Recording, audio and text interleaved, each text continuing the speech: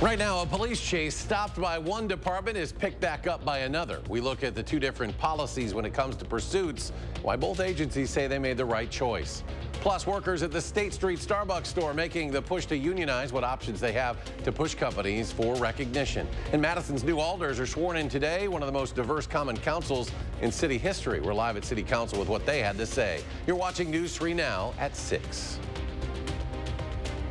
You are looking at a police chase this morning that Monona police picked up after Madison police decided to stop. It started with a shooting and it's grown into a conversation about how and when police departments stop and start a chase. Investigative reporter Naomi Kowles spoke to both chiefs today. Naomi? Eric, the chiefs I spoke to backed each of their officers' decisions in an incident that underscores not just differing policies, but also how each department applies discretion when getting involved in a chase shots at our caller's vehicle.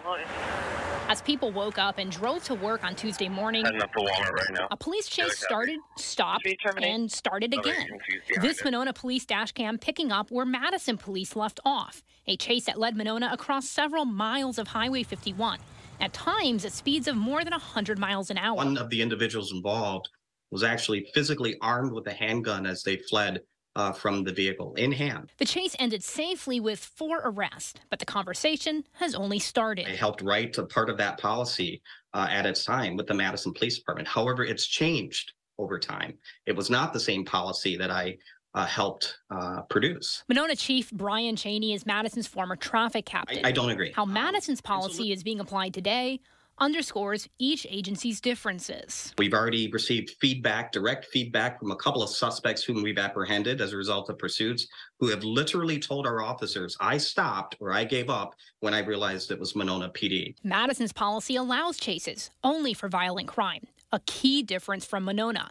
But it's a clause shared by both agencies that applies to Tuesday's chase the option to stop the chase when the officer believes the public risk outweighs the reward. In this case, I think they made uh, a very good call. Both chiefs point to a community that has different expectations. They do not expect us to be tough on anything, they expect us to be smart. Uh, there are needs uh, within each community that, that uh, may be different than our neighbor. And a culture with a different perspective. We have a culture of allowing our officers to make decisions based on good judgment Monona's chase policy was only recently updated last November. Previously, it was very similar to Madison's policy that only authorizes these chases for the most dangerous situations. Interesting discussion. Naomi, thank you. The Dane County Medical Examiner identifies the elderly couple found dead in a home on Madison's east side. Officials say 71-year-old Faye Neaglis and 68-year-old Gregory Neaglis were pronounced dead at the scene. They were found in the 2800 block of Mullen Street Sunday afternoon.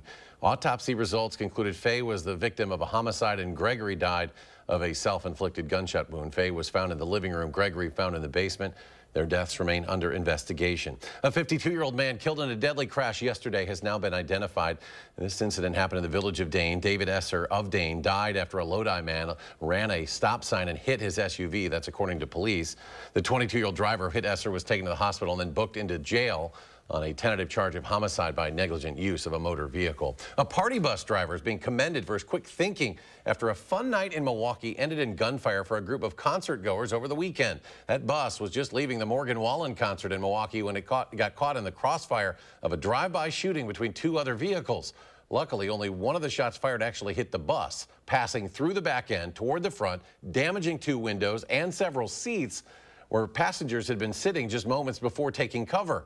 Passengers say it was the driver's quick thinking and calm demeanor that made a huge difference in keeping everyone safe. If I was the driver, it wouldn't have ended the same way, I'm sure. He remained super calm and quickly got us out of there. And then immediately after the fact, when we were able to pull over, the first thing he said was, Is everyone okay? And Milwaukee police say they're still investigating, but so far no one is in custody. Let's check your first warrant forecast now. Here is Chief Meteorologist Gary Cannalte. Gary? A lot nicer today than yesterday just because we had some sunshine and we've melted most, if not all, of the snow, at least here in the Madison area. Let's take a look at visible cloud track. We can still see some snow on the ground. That's that white right in the middle of the screen there. Uh, that's the melting snow over west central Wisconsin where some areas picked up between about a foot and almost two feet of snow. So there's still some more to melt there, but a lot of that has started to melt. Uh, looking at Doppler track, things pretty quiet right now, not seeing any precipitation across Wisconsin. This time tomorrow, we'll see some showers and thunderstorms. In fact, the uh, Storm Prediction Center has the possibility for an isolated strong to severe thunderstorm over southwestern Wisconsin. I think the main threat is going to be hail with temperatures probably around 50 degrees. Low temperatures this morning, 31 in Madison, but over that snow cover to the northwest, temperatures dropped into the teens up in Camp Douglas and Black River Falls. Current temperatures are in the lower 50s across much of southern Wisconsin, few places warmer than that, but notice again over that snow cover, temperatures staying in the 40s. Across Dane County, 54 right now, in Stoughton, 53, in Cross Plains, and 51 to the north in Waunakee. Look for skies to become partly cloudy this evening, temperatures dropping off to about 42 degrees by late evening. Later on, I'll take a look at the timing of those showers and thunderstorms and see how much rain we can expect. Gary, thank you. Feeling undervalued and understaffed workers at the State Street Starbucks are moving forward with plans to unionize, filing a request this morning.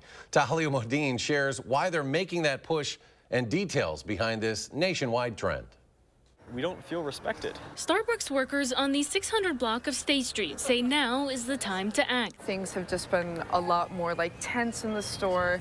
There's threats of people getting fired and written up and things of that sort. They say at first they held off on plans to unionize even after the location on the Capitol Square unionized last year. But after seeing the corporation's response to collective bargaining efforts nationwide, they were done laying low. The way they were treated is just outrageous. And we sat back and we watched this. This is a very strong store with a lot of partners. We make a lot of money. So we decided we had to act. The National Labor Relations Board has lodged several complaints against the company, with reports of Starbucks firing unionized workers and closing down locations that voted to unionize, thereby violating the law. That's something Starbucks has denied. And while the NLRB is in charge of supervising labor practices, their power is limited. There is no punitive aspect to the NLRB in terms of like that there's penalties or fines. There have been proposals that would have uh, created such penalties, but they've not been endorsed by the Congress. Those bills have not passed. Right now, all they can do is encourage employers to obey the law, come to the table, and bargain in good faith. Still, experts say in the past few years, union favorability has risen dramatically, in part because the pandemic made people rethink their relationships with work, especially among Gen Z and service industry workers, which can apply pressure. And I think workers are tired of hearing about record corporate profits while they're just getting by. In Madison, I'm Tahlil Muhiddin, News 3 Now. The State Street Shop is one of hundreds of Starbucks locations across the country joining the effort to unionize. It's also the second to do so in Madison. Capitol Square workers won their bid last summer to join Starbucks Workers United. At the Capitol today, a pair of bills that would prohibit state and local governments from banning gas-powered vehicles and other machines. It's now heading to the state Senate. The bill's Republican sponsors hope to outlaw measures similar to a law passed in California last year requiring that all new cars, trucks, and SUVs sold in the state run on electricity or hydrogen by the year 2035. The measures would still need approval from the Senate and also Governor Tony Evers, who's likely to veto it. Also at the Capitol, a bill designating carjacking as a criminal offense and creating harsher penalties for people who use a weapon to steal a vehicle, receiving final approval today. Under the bill, someone who uses a weapon to steal a vehicle would be guilty of the second highest level felony in the state and could be sentenced to up to 60 years in prison. Currently, the maximum sentence is up to 40 years and a fine of $100,000. The bipartisan bill now heads to the governor, who has said he supports this measure. Madison's new Common Council sworn in this afternoon. It's considered to be one of the most diverse councils in city history. Our Catherine Merck spoke with the newly elected alders about how they plan to improve Madison. Catherine? This council includes the first ever transgender alder, along with the fact that nearly half of these alders are new to their job. That means a lot of variety and a lot of diverse opinions are coming to this city. Today's swearing in comes after this April's election. In the closest race we saw this cycle, Isadore Knox Jr. defeated his opponent by pulling his name out of a bag after his recount ended in a tie. He told me his tight race reflects the diversity in his district and the whole city. Our election was literally a tie. And I think that's uh, a um, indicative of how the city is. You know, we have a divided city, and so our challenge is to come together, listen to all sides of perspectives, and ultimately bring bring uh, the city together through the policies that the council makes here. Elected elders represent. Along with the council swearing in, a new Common Council president and vice president were elected. The Common Council will meet again tonight at 6:30. Reporting live in Madison, I'm Catherine Merck, News 3 Now. Catherine, thank you. Coming up, the FDI, FDA green lights additional doses of a bivalent COVID booster. Find out who's eligible to get one. Plus, Dane County officials offer a warning to parents about using force to discipline their children. That story is next. Stay with us.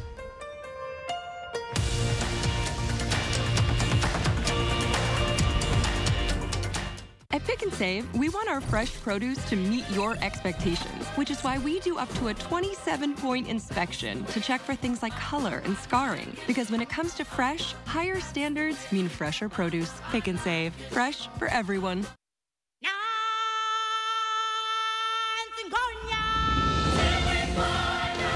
Join the Circle of Life at the Lion King.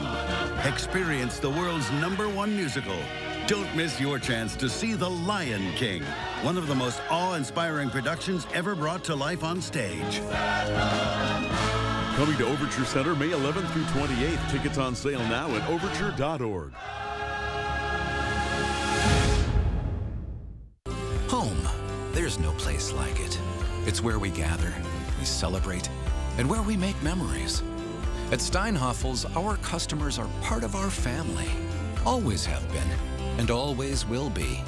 During Steinhafel's Employee Family Price Sale, you pay what we pay. And with Steinhafel's special 72-month financing, your new furniture just got more affordable. Shop today in store or online at steinhafels.com. Hi, I'm Gary Cannalte, and I'm inviting you on a holiday vacations tour.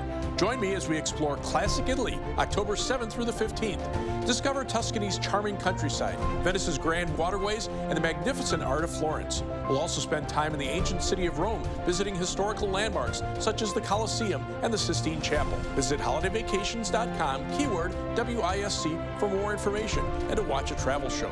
Or call 888 557 1020 for a free brochure. When your door is always open, so is the fridge. At Pick and Save, however you shop, in store, pickup, or delivery, you get the same great prices, deals, and rewards. That's a win win win. Pick and Save, fresh for everyone. You're watching News 3 Now at 6.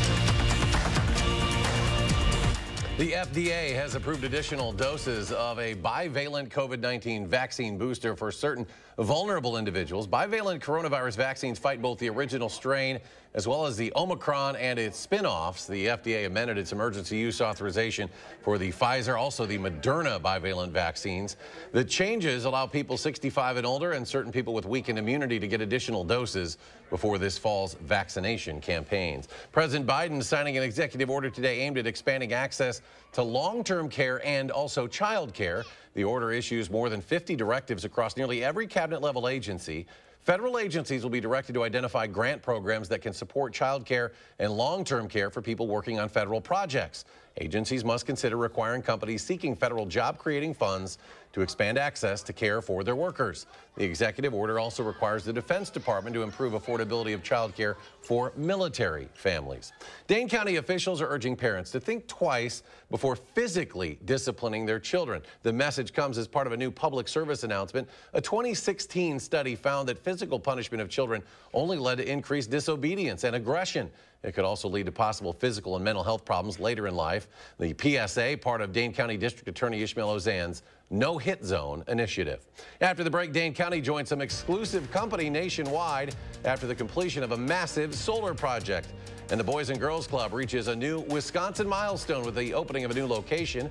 We'll have a sneak peek next. Plus, maybe some rainy weather over the next couple of days.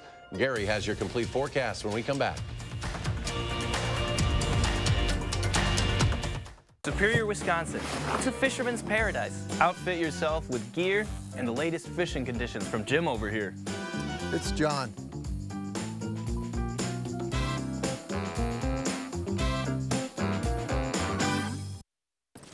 As a veteran of our country's armed services, you have already made the ultimate sacrifice. Why should you have to continue to do that? Through no fault of your own, You may be experiencing hardships, such as the inability to pay rent, utilities, or receive other life sustaining services. And once again, you're called upon by your family to serve and protect. We want you to know we are here to support you.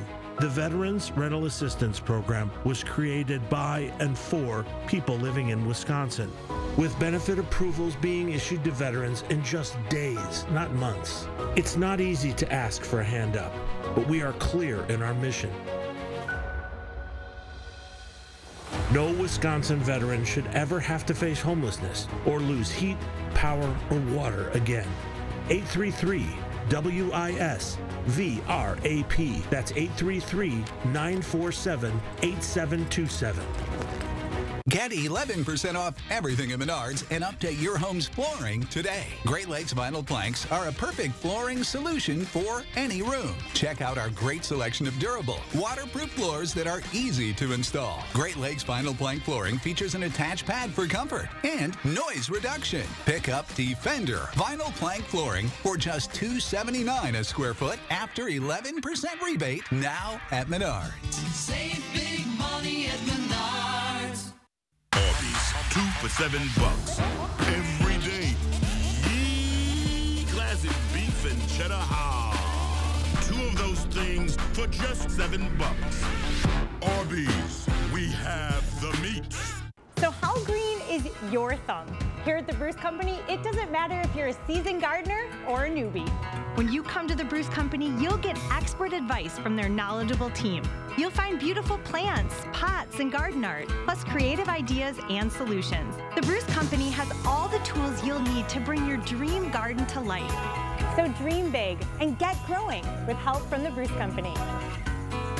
The Bruce Company, your outdoor living experts. You're watching News 3 Now at 6.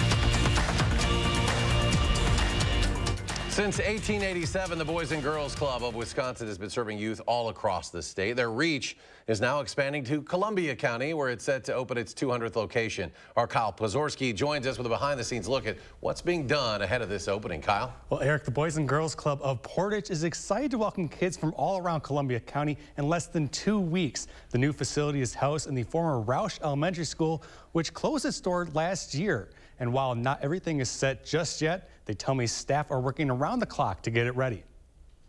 I think it's things on order, getting deliveries in for as far as equipment goes and, and whatnot, training our staff. We've got two weeks to get them all ready to rock, and, and then we should be ready. The building will have a STEM room, reading space, and a large game room. They say this will all help to create a safe space for kids in 1st through 12th grade to be after school. One unique feature of the Portage facility is that they get to use the school's old gym to host all sorts of physical activities. Their famous blue doors open on May 1st, where they're expecting to welcome more than 100 kids. Kyle, thank you. Today, Dane County became the fourth county in the entire country that's now using 100% renewable electricity at all county facilities. This is after the completion of the Yahara solar project today. The installation of 33,000 solar panels at a 90-acre solar farm site in Cottage Grove will reduce climate-changing greenhouse gas emissions equivalent to those produced by more than 5,000 vehicles. We want to do everything we can to help show people the way, to help facilitate and show them that it can be done, and frankly, to put a little pressure on other folks too. Because as I said before, we, there, there's no time to waste. Everyone has to get on board with this. Everyone has to do their part, and there's nowhere we see more action in the, than in local government and on the local level. The project will produce enough electricity to power more than 3,000 Dane County homes. Some thunderstorms could be moving through the area later tonight. Here's Gary with your complete forecast. Yeah, with thunderstorms in the forecast, it's a good time to take a look at lightning safety rules as part of uh, severe thunderstorm and tornado awareness week in Wisconsin. Um, lightning, of course, can be deadly. Uh, last year there were uh, 19 deaths across the country. We average about 20 per year. Unfortunately, three of those fatalities were near the White House. A couple of them were uh, people from Janesville. Two deaths so far across the country from lightning in uh, 2023. The last lightning fatality in Wisconsin, August 2021, and that in Menominee, a construction worker thought the storm was over, the rain had stopped, went back outside, got up on a ladder, and got struck by lightning. That happens quite a bit. People think they're okay that when the rain stops. That's not the case. Lightning can strike many miles away from where it's raining. Uh, so many people who have lightning also have permanent injuries. Uh, a lot of times you have injuries from burns, nerve damage, uh, you lose your hearing or uh, have some kind of a of, of permanent uh, injury to yourself. And 90% of all lightning fatalities are men. Not a surprise, men are outside a lot, uh, golfing, that sort of thing, and that's where you see a lot of the fatalities. As far as knowing how far lightning is, well, you see a flash of lightning, you, do, you count, see how many seconds it is before you hear the thunder, divide that by five, and that gives you the distance in miles. And remember the 30-30 safety rule. If there's less than 30 seconds from the time you see a flash of lightning until you hear the thunder, head indoors, and then wait 30 minutes after the last time you hear thunder before you go back outside. Three things you need to know in our forecast. Thunderstorms in the forecast for both tomorrow and for Thursday. Also will be breezy all the way through the weekend and into parts of next week, but the weekend will be chilly again as high temperatures drop back into the 40s. Doppler track right now, quiet across the upper Midwest. However, that will change by tomorrow. Storm Prediction Center has a marginal or level one risk for isolated severe thunderstorms, probably hail the main threat over southwestern Wisconsin tomorrow. Severe weather threat on Thursday right now, outlook to the south of us, but temperatures getting into the 60s. I think that uh, area might be moved farther north. We might have a severe weather threat here on Thursday afternoon ahead of a cold front. Rainfall generally around a half inch to an inch of rain over southern Wisconsin. Some areas could pick up over two inches in heavier storms. That would be more likely north and west of Madison, but that could also lead to some issues with flooding because many rivers are at or above flood stage and there are flood warnings in effect for much of the Mississippi River as well as parts of the Wisconsin River. Planning your night across Dane County, low 38 in Windsor, 38 Middleton, 40 in Cross Plains. Some showers developing out to the west of Madison by morning. 42 for the low and Prairie du Chien and 38 in Lone Rock to the north and east. Uh, 32 in Wautoma and 36 in Fond du Lac. For tomorrow, look for mostly cloudy skies. It'll be breezy and cool with scattered showers and thunderstorms, mainly in the morning. High temperature at 50. You can see early tomorrow morning, a first batch of showers and storms kind of moving on through. Notice those temperatures staying in the 40s. A bit of a break during the afternoon tomorrow. Temperatures get up to around 50. A few scattered pop-up showers and thunderstorms becoming a little more numerous tomorrow night. And then a wave of showers and storms during the day on Thursday as the cold front comes through. Notice the temperatures in the mid 60s, so that might be warm enough to bring the potential for some severe weather. Rainfall amounts heavier north and west of Madison, but any spot could pick up an inch or two in a heavier thunderstorm. First warned 7 to 10 day forecast. After the storms, temperatures drop into the 50s on Friday. 40s for the weekend. We slowly warm back up again to the low 60s by the end of next week with some shower chances from Wednesday night through Friday. And coming up in sports, the status of Giannis for game two against the Heat and why the Bucks defense needs to be way better than it was in game one. That's next on News 3 Now. News 3 Now First Warn Weather is brought to you by La-Z-Boy Home Furnishings and Decor. Discover a shopping and design experience as comfortable as the furniture. La-Z-Boy Home Furnishings and Decor. Schedule your free design consultation today. Make a difference in the world. Be a mentor. Young people need a positive role model to succeed and navigate life's challenges. Learn about mentorship opportunities at unitedmadison.com slash mentoring. Brought to you by Fearings Audio Video Security and United Madison.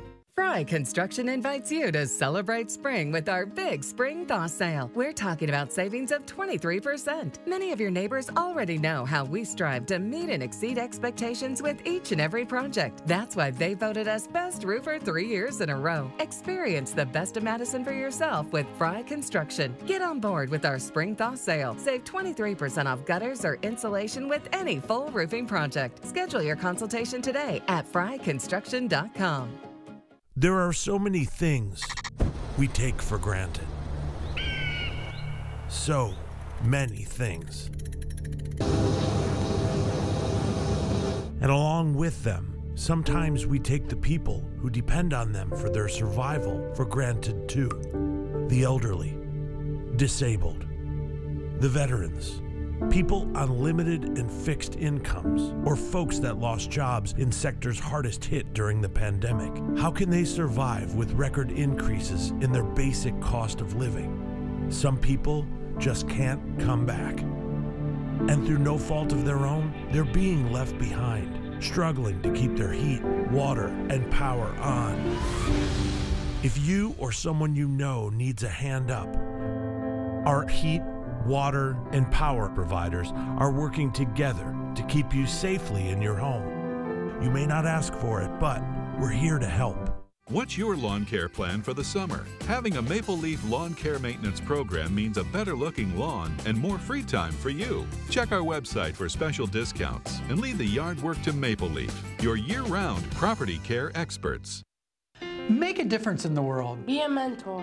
Young people need a positive role model to succeed and navigate life's challenges. Learn about mentorship opportunities at unitedmadison.com slash mentoring. Brought to you by Fearings Audio Video Security and United Madison. The Chandler Halderson case isn't over yet. Tomorrow, a local attorney tells us why the man serving life in prison for his parents' murders is back in court.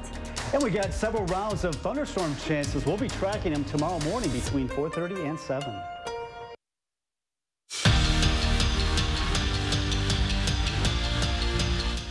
The Bucks practiced today ahead of game two against the Heat. However, Giannis did not. Mike Budenholzer did say there's been a lot of progress made, and he hopes there's more in the next 24 hours. As of now, he's listed as doubtful. Wesley Matthews officially ruled out. But if Giannis plays or not, the Deer have to shore up their defense. Miami scored 130 points while shooting nearly 60% from the floor. That's not sitting right with Jae Crowder. 130 points in a playoff game, I think that's entirely too much. Um, with the caliber of defensive players that we have, I think we have to clean that side up. I think you, we scored 117 points and then shoot the ball well. It's not offense. I think um, offense will take care of itself. I think defensively, though, we cannot expect to win a playoff game giving up 130 points. The Brewers started their final stretch of their 10-game West Coast road trip off on the right foot with a win over the Mariners, but at a cost. Their ace Corbin Burnes left the game in the sixth inning with what the club is calling a left pectoral strain. The good news is Craig Counsell is calling it a minor injury and said that they're not ruling him out for his next start. The Brewers already lost Brandon Woodruff with a right shoulder strain.